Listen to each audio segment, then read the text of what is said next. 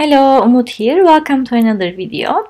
Today I'm going to work on my art journal. This is Moleskine sketchbook that I am using. And I pulled out some scrap papers uh, from my stash literally that I had for years and years. I bought them cheap from somewhere, I'm not sure. Uh, but uh, they were hanging around on my uh, in my stash uh, among my papers long time so I said let's uh, use them this time I'm going to work with three distress paints uh, Tattered Rose, Victorian Velvet and Aged Mahogany to create my background but first I decided to have something going on at the back. Uh, these are tissue papers from Tim Holtz again. His uh, Idea-ology paper collage papers uh, and I think they are very useful when you just uh, get want to get rid of this blank page and have something going on at the back before you put uh, your colors. So I'm using my uh, matte medium to stick uh, randomly uh, parts of this tissue paper. these are gifted to me by my friend. I think it was like buy one get one free when she bought it and she sent all of the extra ones to me all the way from the US so uh, thanks to her so much. Uh, I cherish them and I remember every time I use.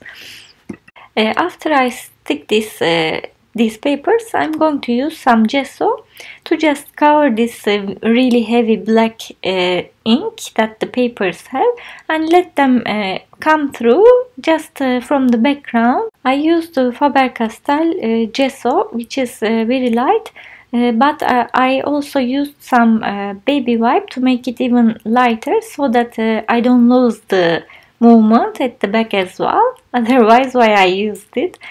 Uh, you can use any gesso. If you think your gesso is thick you can always water it down to make it thinner. Or you can use a baby wipe while you are applying it so you make it thinner and the background at the back comes through so while I was talking, I was applying my distress paints with my brush. Uh, as I said, I'm using uh, Tattered Rose, Victorian Velvet and Aged Mahogany. Uh, some uh, tones of uh, burgundies and uh, vintage pinks. I take the inspiration from my papers, of course. They had these colors of vintage browns, pinks, wine color and some light green and the pink and green are on the opposite sides of the color wheel so they will contrast with, with each other and form a really uh, striking interesting look. So I love uh, contrasting uh, colors on my art journals.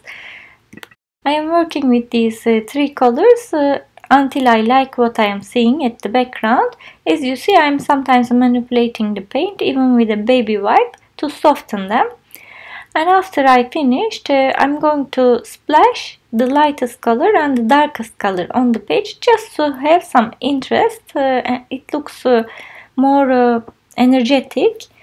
Uh, and uh, as you see the creases are also coming through from the paper that I glued.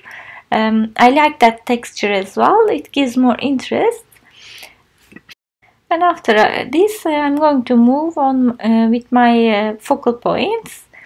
I took this uh, one that I showed before uh, that has all the alphabets uh, in colorful squares.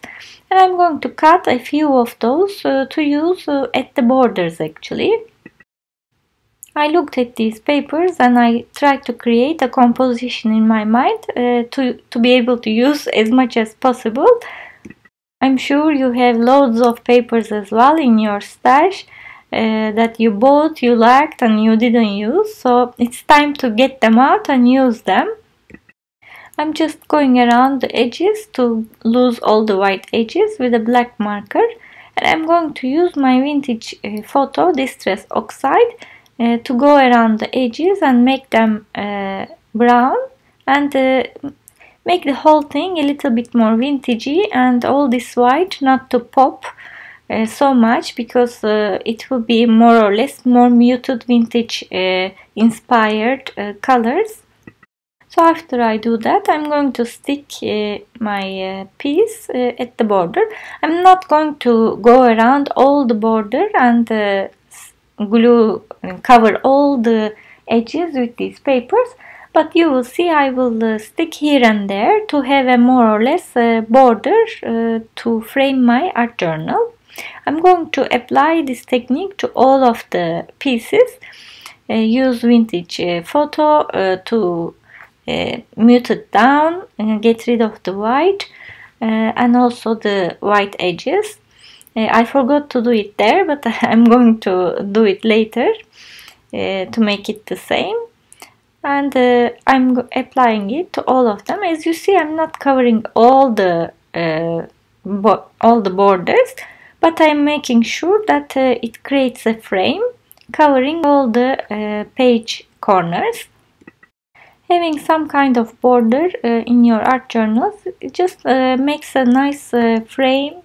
It draws the eye inside and makes a definition uh, so if it suits it's nice to have borders and different you can have different different types of borders. There are many options. Now I'm going to cut these uh, little birds that are standing on books uh, which are very nice and cute. And I cut other birds as well again from the same paper stash. And I will just glue them down again with matte medium uh, since everything is permanent on my page, I can uh, easily use matte medium without any fear of uh, smudging anything. Uh, I will just go over all the uh, papers that I am sticking down as well to be able to do the shading afterwards. So they need to be um, non-porous. I just made sure all the birds are are lined up uh, on top of each other. Let's see what to do on the other page. I just cut down this uh, balloon. Uh, as you see the colors are more like burgundy, pink, brownish like vintage photo uh, colors like sepia and uh, this uh, very light pale green and I'm going to use this come fly with me as a sentiment uh, I just uh, tore down a couple of things uh, to place my sentiment on which will make it more interesting. I also took some uh, corrugated cardstock. Uh, I recently I became fond of this corrugated cardstock and I'm using it quite often actually but it gives a really nice texture. I think it's a good opportunity to add some interest and they are very cheap so and can be found everywhere. Again, I'm doing the same uh, ritual of adding vintage photo uh, on everything. And then I'm going to add my balloon and uh, all the sentiment, uh, again with matte medium. As you see, all the splashes that I added uh, at the beginning are actually creating a really nice texture, going with the colors, especially the burgundy ones, uh, the aged mahogany, goes with the birds and the sentiment. Uh, now I wanted to do some uh, stamping as well. Since there are birds uh, on the page it always reminds me of uh, birds are singing. So I wanted to add some music notes. Uh, this is my Kaisercraft background stamp that has music notes Kaisercraft has these um, small background stamps that are really useful actually. So if you want to check them out, uh, it's an Australian company, but you can find them in uh, Scrapbook.com, Amazon, uh, in all countries, I think. Uh, so yeah, uh, they would be also reasonably cheap uh, because they are small. And I used aged mahogany to stamp to do the stamping at the background. Uh, as I said, there's a background stamping. Uh, now I'm going to use uh, this uh, bundle sage uh, from Distress. I was trying two colors, but I decided uh, on the bundle sage. So I'm just applying it on a cardstock to do some punching, die cutting. Uh, I use these uh, Martha Stewart uh, punches a lot. I find them very useful and versatile. I have butterflies, flowers, little hearts, uh, and I use uh, all of them uh, very often. So it was a useful purchase, we can say. I am again going around all the butterflies with this vintage photo for all the images to match in style and uh, I'm going to uh, just glue these in the empty areas. My uh, perception was this part of the page was a little bit empty so I'm filling it out with color matching little butterflies. I generally use these uh, punches or little images to fill out space if I feel there is too much emptiness in a specific area. So that's a little tip. Uh, you can use little uh, flowers little butterflies little birds. Uh, these little images to fill out space uh, if you feel uh, some area is looking empty. And finally I'm going to splash this bundle sage color as well. Because why not? Uh, we have all this green on the page and uh, it would be nice to have the splashes uh, in this color as well I'm going to draw uh, the butterflies antennas and some spots. Later you will see. And I'm going to do the shading now. I'm using Caput Mortuum Faber-Castell Pit Brush Marker. Uh, and uh, I'm just going around all the areas even uh, on top of the balloon as you see to give some shadowing. And moving the ink with my finger. Uh, this is Indian ink uh, so you have like a few seconds uh, before it dries and it helps a lot with all the shadings. I'm doing it all around the birds as well and you will see I will do it around the border pieces too.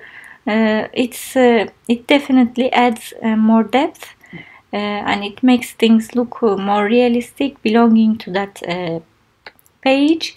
So we always like to do the shading after I'm finished with it, I'm going to also darken up the edges of uh, my journal page so that uh, I draw the eye inside. I'm using a dark red uh, color uh, Faber-Castell Gelato. You could use uh, again pit brush markers.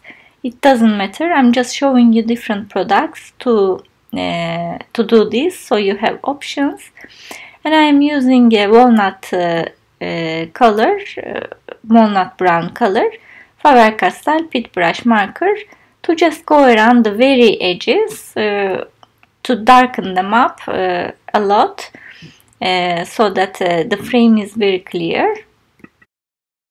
And I think I'm done with the page. You see I completed the butterflies too.